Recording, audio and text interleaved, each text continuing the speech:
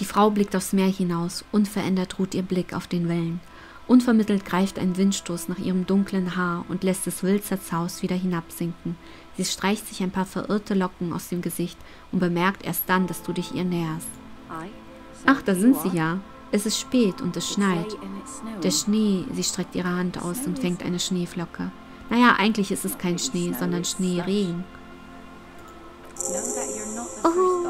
Ihnen sollte klar sein, dass Sie nicht der erste Typ sind, der mit einem Mädel nach Lands End kommt. Die Einheimischen bezeichnen diesen Landvorsprung als Knutschecke. So etwas wird hier heute nicht passieren. Ich will das bloß klarstellen, Grübchen. Sie wendet sich erneut dem Meer zu. Jenseits des rostroten Wassers liegt La Delta, das Finanzviertel. In der nebelverhangenen Ferne erheben sich Türme wie ein stummer Vorwurf gegenüber der Armut an dieser Küste. Es scheint sie zu überraschen, dass ich es geschafft habe. Vielleicht war das hier ein Fehler. Irgendwie fühlt sich das alles unangenehm und ich sollte gehen. Nee, nee, nee. Scheint sie zu überraschen, dass ich es geschafft habe. Sie schmunzelt. Männer, die gerne trinken, sind nicht unbedingt dafür bekannt, ihre Verabredungen einzuhalten.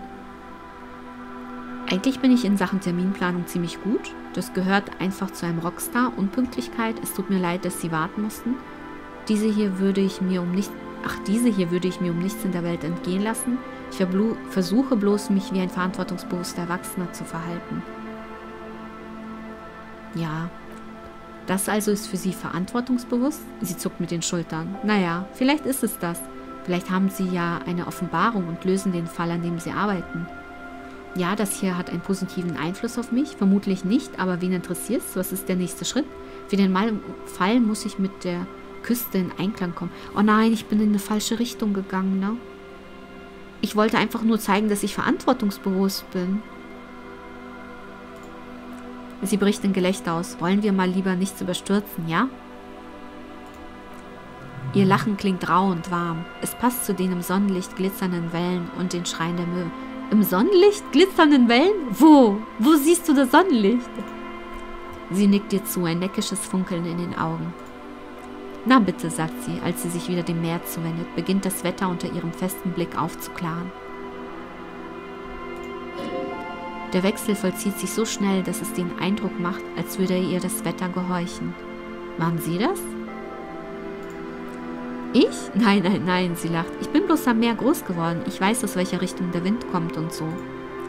Ich wusste, dass das Wetter um diese Zeit aufklaren würde, sonst würde es auch ein wenig an, ein weniger angenehmer Spaziergang geworden, meinen Sie nicht? Du solltest etwas sagen, irgendwas, vielleicht ein Tequila Sunset Spruch. Nein. Übrigens hat eine frühere Inkarnation meiner selbst sich Tequila Sunset genannt. Ich frage mich warum. Nein, du erzählst nichts von deiner schmutzigen Vergangenheit. Ich erzähle es nicht. Die letzten Strahlen der sinkenden Sonne spiegeln sich auf den Wellen und in den Fassaden der Wolkenkratzer, die auf der anderen Seite der Bucht in den Himmel ragen. Einen Augenblick lang wird dein Geist klar, als du den Anblick mit all deinen Sinnen auf dich wirken lässt. Nicht nur die glasverkleideten Wolkenkratzer, die in der schimmernden Luft geradezu zerbrechlich wirken, sondern auch die Esperance, die in die Bucht mündet. Ist es nicht seltsam, sagt sie und durchbricht damit abrupt die Stille, dass etwas so Allmächtiges wie die Sonne so gut zu uns ist. Die beste Zeit, um zu fischen rauszufahren, ist übrigens gegen Sonnenuntergang, wenn das Wasser wärmer ist. Die Sonne fällt äh, auch auf die Wohngebäude am Kap und die vom Krieg gezeichneten Ruinen. Eine alte Seefestung sticht hervor. Vom Glanz, der auf alles äh, andere fällt, scheint sie als einzige ausgenommen zu sein. Der Kenntnis reißt sich aus deinem Tagtraum. Die Sonne tut wenig für die Toten und jene, die sich hoffnungslos in den Tiefen ihres eigenen Geistes verirrt haben. Oder für Leute, die in Wüstenregionen leben, in denen es kaum Vegetation und wenig Trinkwasser gibt. Haben sie ihr Boot deswegen Sonne getauft? Ich wage es zu bezweifeln, dass Wüstenbewohner über zu viel Sonnenlicht glücklich sind. Du genießt einfach nur den Augenblick. Du fährst fort. Ach, den Namen habe ich zum Teil aus Stolz, zum Teil aus Aberglauben gewählt. Und vermutlich ging es auch ein bisschen um konzeptuelle Einheitlichkeit. Schließlich ist es gelb und so. Okay, das mit den Wüstenbewohnern sage ich nicht. Salz liegt in der Luft und die Schreie der Möwen und Skurs. Du siehst körnigen Sand und den grünen Schimmer zerbrochener Flaschen. Trotzdem zieht es seinen Blick immer wieder zu den mannigfaltigen Spiegelungen der Lichtstrahlen, zu ihrem langsam schwindenden, herrlichen Überfluss. Ich fühle mich ein bisschen schlecht, dass ich hier nachts stehe, während die hier die ganze Zeit über die Sonne sprechen. Ich meine, ich finde diesen Leuchtturm ja auch ganz schick. Sie bringt uns den Frühling, den Sommer. Sie ist voll und ganz auf unserer Seite, egal wer wir sind oder, wie, oder was wir tun mögen. Und das einfach so.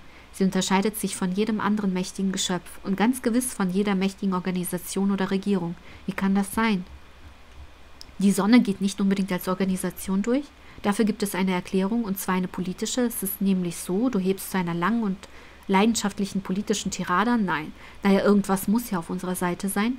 Das liegt daran, dass sie kein Mensch ist. Menschen lassen einen im Stich. Oh, das ist zu traurig. Äh,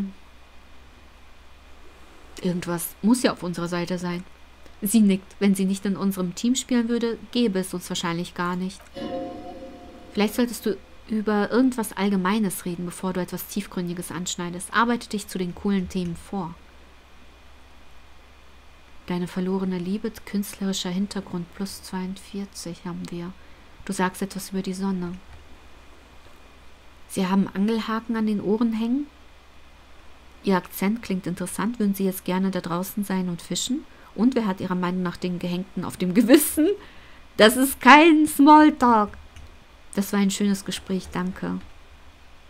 Sie haben Angelhaken an den Ohren hängen. Die hier? Sie dreht ihren Kopf so, dass sie hin und her baumeln. Das sind keine echten Angelhaken, Sie Dummerchen. Das sind Ohrringe, die Angelhaken nachempfunden sind. Ein Säufer namens Rosemary hat sie mir gemacht. Ich habe sie behalten. Sie hat recht, sie bestehen zum größten Teil aus Plastik. Das sind billige Mitbringsel, wie man sie in einem Blumenladen oder Kiosk findet. Der Wind zerzaust ihr Haar, das während sie den Sonne Sonnenuntergang betrachtet. Mm, ihr Akzent klingt interessant. Danke, ich bin zur Hälfte Ubierin. Meine Mutter stammte aus Ubisund. Da scheint die Sonne nicht sonderlich viel, wie man hört, aber ich war selbst nie dort. Hm, würden Sie gerne draußen jetzt fischen? Ja, eigentlich immer. Mir gefällt es. Es ist, als wäre man auf einem anderen Planeten, auf einem Wasserplaneten mit Wassersorgen und Wasserfreuden. Hm. Ich frag das Sie nach dem Gehängten. Ich sag was über die Sonne. Ja, geschafft! Alles klar, es gibt zwei unterschiedliche Ansätze, diese Sache stilvoll zu Ende zu bringen. Du starrst die Sonne an. Äh, ja, die Sonne ist eine gewaltige 5 Milliarden Jahre alte thermonukleare Reaktion. Sie ist eine Göttin. Die Sonne hat nur einen einzigen Fehler. Sie scheint auch für, für unsere Feinde. Äh, nichts von beiden, das klingt toll. Nimm das erste. Ja, sagt sie und nickt. Und zwar eine gütige Göttin. Wann hatten Sie zuletzt so jemanden auf Ihrer Seite? In meinen frühen Zwanzigern vielleicht, als meine Liebste an meiner Seite war? Noch nie? Das habe ich immer noch. Ich bin rechtschaffen. Hm. Ich habe keine Ahnung. Ich kenne Harry noch nicht so gut. Ich will nicht über die Ex sprechen. Sagen wir noch nie? In meinen frühen Zwanzigern vielleicht? Naja, ab sofort passt so etwas Gewaltiges auf sie auf. Also zum Teufel mit der Jugend. Sie lächelt. Es ist so, der Wind wird bald zunehmen und ich muss gehen, aber sie nimmt ihr Schwert aus der Scheide. Die Klinge blitzt in der heraufziehenden Dunkelheit.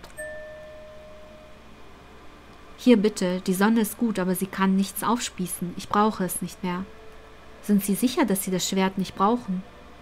Meinen Sie, wir, äh, wir können das irgendwann wiederholen. Danke, dass Sie mit mir diesen Spaziergang gemacht haben. fragt das Erste. Nein, die Männer hier in der Gegend sind zu betrunken, um eine Gefahr für mich darzustellen. Können, meinen Sie, wir können das wiederholen? Das bezweifle ich, lächelt sie traurig. Nein, aber danke für Ihre Gesellschaft. Hier ist für Sie Schluss. Damit mehr passiert, musst du ein Jahr zwischen dich und deinem letzten Drink bringen. Ja, aber das ist ja wenigstens möglich. Danke, dass du den Spaziergang gemacht hast. Leben Sie wohl. Sie nickt dir zu und dreht sich zum Gehen um. Das war ein schöner Spaziergang. Und wir haben einen kleinen Hoffnungsschimmer. Das finde ich immer ganz wichtig. Er hat jetzt auch eine Motivation für die Zukunft. Das war richtig schön. Und wir haben einen Gegenstand bekommen, ne? 115 mm Standardsäbel. Die Klinge dieses serienmäßig hergestellten Säbels ist über die Jahre abgestumpft. So wird er niemanden mehr schneiden oder stechen. In deiner Hand gebietet er jedoch immer noch Respekt. Das Heft aus Bakelit erfüllt dich mit Zielstrebigkeit und einer Erinnerung an vergangene Zeiten. Wow. Lege die an, um dich selbst zu beeindrucken. Wow, cool. Wir beeindrucken uns selbst. cool, cool. Okay, dann hätten wir das mit Liliane auch erledigt. Ein bisschen traurig bin ich schon. Ich hätte gern noch ein bisschen mehr Zeit mit dir verbracht. Liliane. Aber was soll man machen, ne? Man kann nicht alles haben im Leben. Gehen wir jetzt zur Cell? Ich bin gerade so im Flow. Ich müsste eigentlich schon seit einer halben Stunde aufgehört haben aufzunehmen, aber ich äh, nehme jetzt noch mal eine halbe Stunde. ähm, ich wollte zu Acel, genau. Es ist nur so dunkel hier. Ich finde es so schon schwierig mit der Navigation hier. Kann ich eigentlich von hier aus direkt irgendwo teleportieren oder ging das nur... Nee, das ging leider nur vor der Kirche, Fischerhütte oder im Hafenviertel. Aber gut, so weit weg sollte es ja hier nicht sein, ne? Das ist eigentlich die eine Tür, die war hier. Daran muss ich vorbei. So. Ich hoffe, die Kinder schlafen noch nicht, obwohl, nee, sollten sie eigentlich nicht. Äh, so. Oh, das war ein echt schöner Spaziergang. Ich freue mich so, dass ich das doch gemacht habe. So, speichern. Das machen wir auf jeden Fall. Und dann gehen wir jetzt rüber zu Marcel und machen das mit ihr nochmal. Erledigen wir noch. Sehr schon cool. Bam, bam, bam, bam, bam. Dasselbe bist du da hinten. So, nochmal speichern. Warte, ich brauchte Empathie, ne? Ich gucke mal kurz, ob ich da ein bisschen für sorgen kann. Das macht minus Empathie. Empathie, Empathie, Empathie. Davon hatte ich, glaube ich, auch nicht viel. Ich habe so viel Kleidung, aber irgendwie gefühlt auch gar keine. Weil ich nie weiß, was ich anziehen soll. Der Struggle hier ist real. Hier, Empathie. Die Sonnenbrille. Zack. Weil hat die auch Empathie? Nee, die hat Gewandtheit. Gut, dann haben wir da schon mal ein bisschen was dazu bekommen. Dum, dum, dum. Hier ist nochmal Empathie mit dem Mantel. Ähm, das ist Marine-Ding. Nochmal Empathie. Schuhe. Ach, wir haben doch so viel. Äh, da, da, da, da. Okay, und haben wir irgendwas Empathie minus? Hier ist minus Empathie, das muss ich austauschen. Gegen irgendwas? Hm. So. Noch irgendwas minus Empathie? Nee, okay, wir haben soweit alles. Das Ding kann ich jetzt auch wieder rausnehmen. Das brauche ich nicht. Wir können den Sack wieder nehmen. Wer weiß, vielleicht finden wir doch noch irgendwo Geld. Was ich sehr stark bezweifle. Wir brauchen es eigentlich nicht mehr. Warum laufe ich mit so einer hässlichen Tüte rum? So. Empathie haben wir jetzt noch plus drei noch dazu bekommen. Dann speichere ich jetzt noch mal kurz. So, wo ist sie? Erzähl! Ich habe mich in Empathie geübt. Boah. Wir haben neun bei Empathie. 72 Prozent. Sehr schön. Das Gerät ist von ihrer Berührung immer noch warm und wegen der Batterien darin schwer wie ein Ziegel. Das Firmenlogo Omikron schmückt seine gelbe Plastikabdeckung. Im Inneren dreht sich das Tonband. Die junge Frau sieht das Gerät in deinen Händen an. Es tut mir leid, dass du hier an der Küste sitzen musst und unglücklich bist. In deinem Alter oder in jedem anderen Alter an so einem Ort darauf zu warten, dass es dunkel wird. Du legst das Tonbandgerät auf den Boden. Eigentlich ist es ziemlich Sie sieht dich direkt an, ihre Pupillen geweitet, die Augen von einer absurden Menge Make-up umgeben. Die Leute, die diese Welt erbaut haben, hatten etwas Besseres für dich im Sinn, aber sie sind gescheitert. Mit diesem Gerät an deiner Seite ist es einfacher, mit ihrem Versagen zu leben.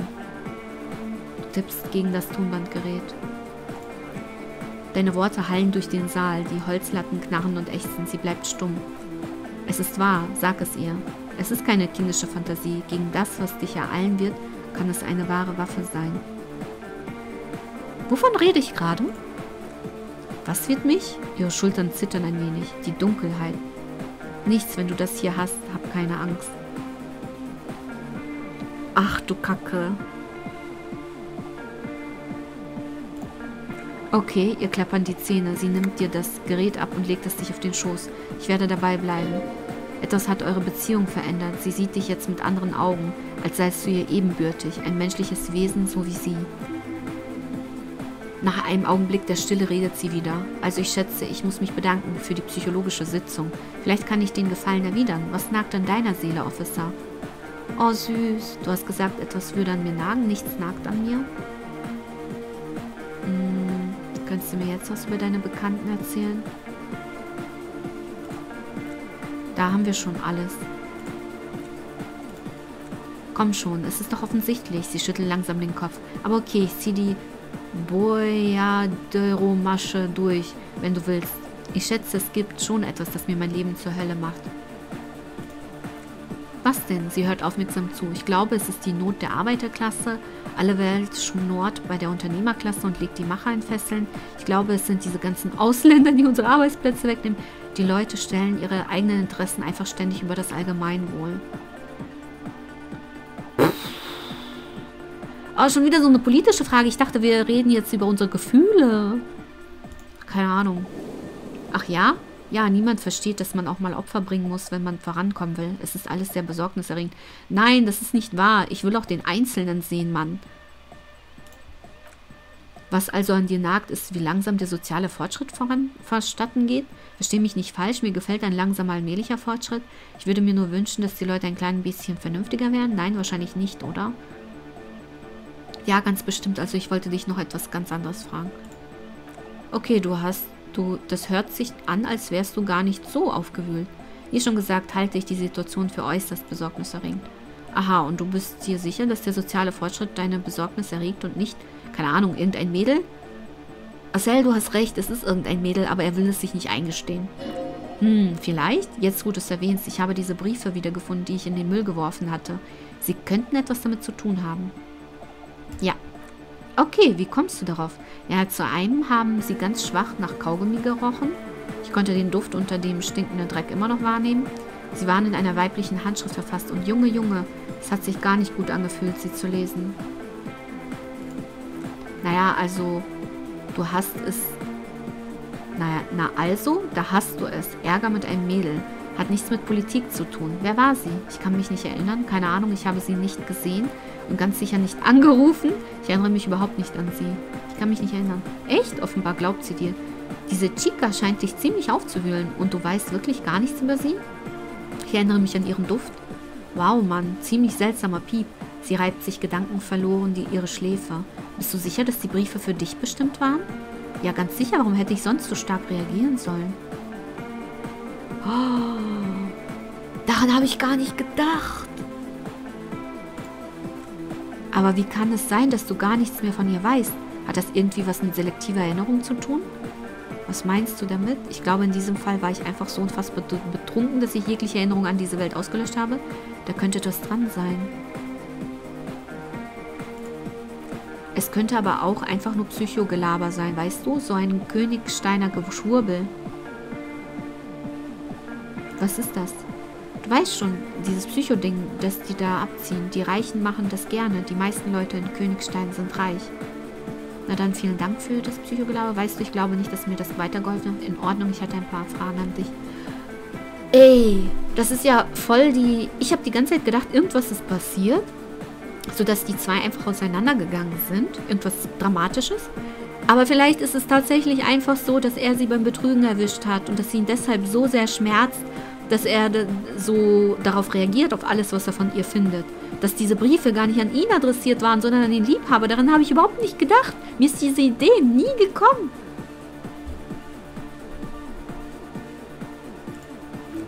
Gern geschehen. Sie denken kurz nach und lockert ihren Kiefer. Aber vielleicht ist es am besten, wenn du deine miesen Erinnerungen ruhen lässt.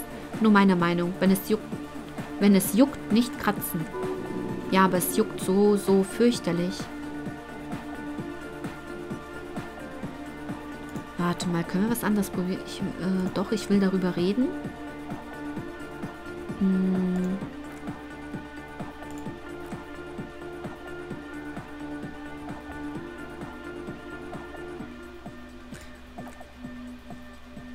Okay. So. Naja, denk einfach mal darüber nach. Wolltest du noch etwas von mir? Nee. Okay, also es gibt keine andere Möglichkeit. Also man hätte jetzt wirklich das erfahren. Okay. Na gut, aber das war schon eine sehr wichtige Information, finde ich. Eine sehr passende Information, die wir gebraucht haben. So, jetzt ist noch die Frage, mh, hm, was ich sonst noch machen kann. Dogana Megamix. Wir könnten nochmal mit Titus sprechen, aber da würde ich gerne Kim dabei haben. Hier haben wir alles soweit. Ich will auf jeden Fall das mit Gaston noch hinkriegen. Und die anderen Sachen sind schon nicht mehr so wichtig.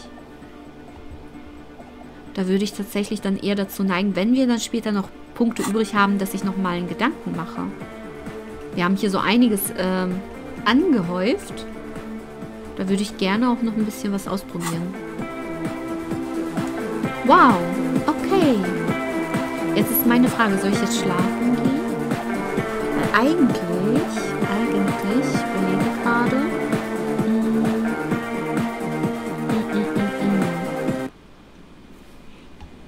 hm, hm, habe ich irgendwas ausgelassen, was ich alleine machen müsste? Das ist die Frage aller Fragen. Taschenlampe. Können wir eigentlich mit Liliane nochmal sprechen? Das wäre auch noch so eine Idee. Lilienschätzchen. Ah, nee. Ich glaube, das ist falsch. Wir gehen gerade falsch. so. Hier ging es irgendwo runter, oder? Und das nicht hier? Nicht wieder irgendwo falsch? Ah, nee, hier doch. Ah, ich hätte mich auch einfach teleportieren lassen können, ne? Manchmal aber auch, manchmal...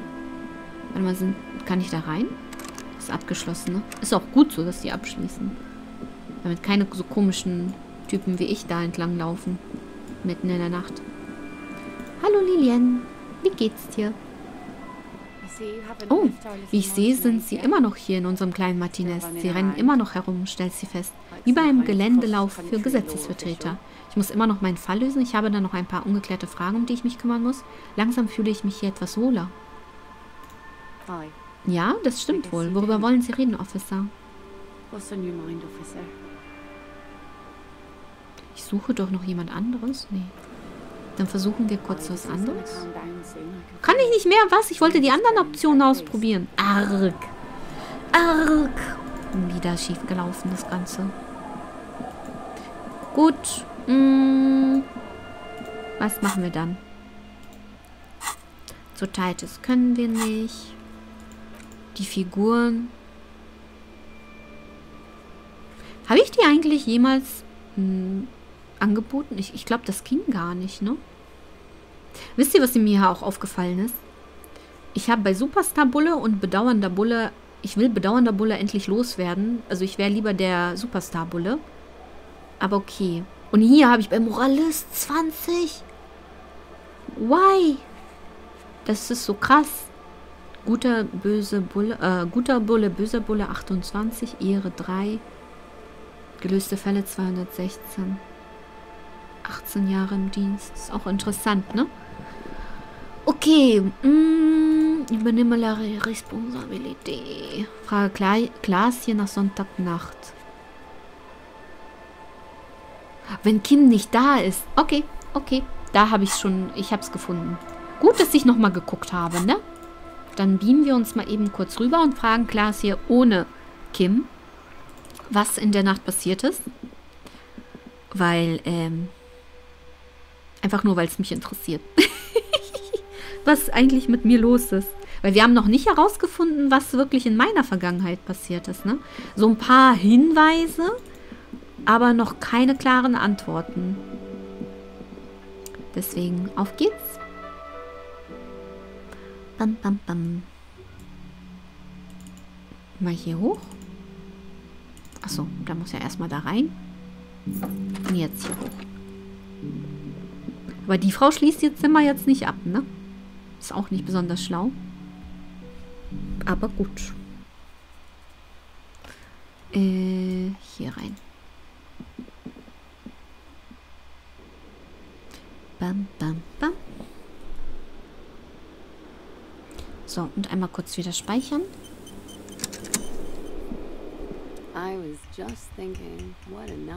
Jetzt, wo Kim nicht hier ist, reden wir über Sonntagnacht. Ach ja, sie schenkt sich mehr Kaffee ein. Die Nacht bevor ich sie im Flur gesehen und sie daran erinnert habe, dass sie ein Polizist sind. Äh, das ist eine der ersten Erinnerungen, die ich an Elysium habe. Vor ihnen erinnere ich mich nur an das Zimmer, die Geräusche eines Motorfahrzeugs, Dampf im Badezimmer und an Dunkelheit. Haben Sie etwas gehört? Sonntag Nacht aus meinem Zimmer. Wow, sie nickt Elysium. Den Begriff hört man nicht oft. Sie sagt oft etwas leicht dahin, aber deine Formulierung hat dir wirklich gefallen. Haben Sie etwas gehört Sonntagnacht? Aus meinem Zimmer? Nur den üblichen Krach. Sie nickt laute Diskomusik. War ich allein? Schwer zu sagen, wahrscheinlich schon. Es hörte sich an, als ob sie solo wären. Waren. Äh, sie haben laute Diskomusik erwähnt? Oh ja, verschiedene Bands, hauptsächlich Ostentatious Orchestrations. Sie hebt deine Augenbraue und wartet darauf, dass du damit etwas verbindest. Ach, das. Toll. Yippie. Je weniger Worte man über 00 verliert, desto, oder OO verliert, desto besser. Wo ich herkomme, war OO eine große Nummer. Damals war ich natürlich noch jung, ungefähr sieben. Das Leben wird schwer, sagt sie im Singsang, aber wir machen weiter. Eigentlich wird es nur schwerer, nicht wahr? Stimmt, wir machen immer weiter. Ey, wir machen immer weiter. Ich weiß nicht, gegen zwei Uhr war Schluss mit Disco und es gab einen Tempowechsel. Was ist passiert? Ein langsames, trauriges Lied erklang, wie Orgelmusik immer wieder und wieder. Das ging eine Weile, eine ganze Weile lang so. Ab und zu haben sie mitgesungen oder besser gesagt mitgegrölt. Was habe ich gesungen? Habe ich das hier gesungen? Du zeigst dir die leere Hülle von die kleinste Kirche in Saint-Saëns? Ich habe genug gehört. Habe ich das hier gesungen? Ja, daran kam eine Kirche vor, eine sehr kleine Kirche, sowas wie die winzig, winzigste, traurigste Kirche auf der ganzen Welt. Davon handelt es und auch davon, dass. Wovon noch? dass jetzt alles egal sei und wir jetzt allein seien. Es war schwer zu verstehen, das Lied selbst war ruhig und sanft, aber sie haben sich angehört wie ein verwundetes Wildschweinofficer. es war kaum auszumachen, was sie da gesungen haben. Tut mir leid, wenn sie verwundet sagen, meinen sie das auf eine coole Art, wie eine wilde Bestie? Und was ist dann passiert? Ich habe genug gehört. Was ist dann passiert? Dann haben sie angefangen zu schreien und das Zimmer zu demolieren. Sind Sie sicher, dass ich nicht überfallen wurde? Das hört sich ganz nach mir an. Was habe ich getan? Das denken Sie sich doch nur aus, so würde ich mich nie verhalten. Sicher, dass ich nicht überfallen wurde? Nein, nicht das, nichts hat auf einen Kampf hingedeutet. Es hat sich so angehört, als ob da jemand sein Zimmer verwüstet. Sie trinkt einen Schluck von ihrem Kaffee und lächelt. Ein Fenster wurde zertrümmert, das Tonbandgerät wahrscheinlich auch, die Musik hat aufgehört zu spielen und Möbel, eine waschechte Orgie der Verwüstung. Dann haben sie, glaube ich, das Bewusstsein verloren. Weiter nichts mehr? Ich hoffe doch sehr, dass nicht noch etwas war. Das zu hören macht mich stolz. War denn weiter gar nichts mehr? Ich habe genug gehört. Weiter nichts mehr? Doch, ich glaube, sie haben geschrien, dass sie nicht mehr so, so ein Tier sein wollten. Ich kann es auch missverstanden haben, aber es war, naja, einprägsam. Später bin ich ausgegangen, da ist schon alles wieder ruhig gewesen, so gegen vier oder fünf, sie nickt. Und das war alles. Danke. Kein Problem, sie gönnt sich eine weitere Zigarette. Okay. Aber das heißt, es ist nichts so, also wir haben sonst nichts angestellt, ne? Wir haben ihr auch jetzt nicht irgendwas angetan oder sonst irgendetwas. Das ist schon mal sehr gut zu wissen. Mm, da bin ich sehr beruhigt mit. Sehr sogar. Sehr, sehr beruhigt mit. gut. Jetzt überlege ich. Ich glaube, wir können eigentlich dann schlafen gehen. Ich glaube nicht, dass wir noch irgendwas Großes machen können. Das war noch ein Punkt, den ich erledigen wollte, dass wir alleine mit... Ah nein, nicht schon wieder das Fenster. Ich wollte hier hin. Ich wollte mit ihr noch sprechen. Hm. Ja. Ich bin am überlegen, ob man nicht eigentlich noch sogar mit, äh, wie sie nochmal, Joyce sprechen könnte alleine. Aber wir haben eigentlich auch schon mal mit ihr alleine geredet, ob es Sinn macht. Bin mir nicht sicher. Das wäre sonst auch noch ein Gedanke, den man austesten könnte. Auch einmal hier mit den Leuten. Hey, äh, das, da spricht er nur über die Rechnung. Hier ist auch nichts derweil. Gibt es was Neues bei ihr? Nee, auch nicht bei Elisabeth. Elisabeth. Gut. Dam, dam, dam. Dann rennen wir noch mal kurz zu Joyce. Sicher ist sicher, würde ich mal jetzt behaupten. Nebenbei kurz Ausschau halten, ob hier irgendwas noch ist, was wir aufsammeln könnten, was ich sehr stark bezweifle. Wir haben schon alles mitgeschleppt, was ging. so hat auch alles erledigt, was ging. Äh.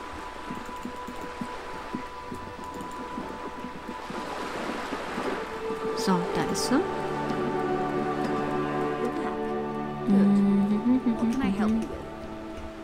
Nee, ist nix. Okay, Leute. Ich werde dann an dieser Stelle einen Cut machen. Ihr könnt, falls ihr noch eine Idee habt, wo ich alleine hin müsste, mir das noch in die Kommentare schreiben. Da warte ich dann nochmal ab. Ähm, bevor ich weitermache und schlafen gehe. Genau. Und ansonsten würde ich dann in der nächsten Episode tatsächlich die Hauptquest auch wirklich einfach weitermachen, ne? Weil wir sind noch nicht so viel schlauer geworden. Also ich, ich bin sehr, sehr gespannt, was uns noch alles hier erwartet. Ja, und dann würde ich dann wie immer sagen, ich wünsche euch noch einen wunderschönen Tag und bis zum nächsten Mal. Ciao, ciao.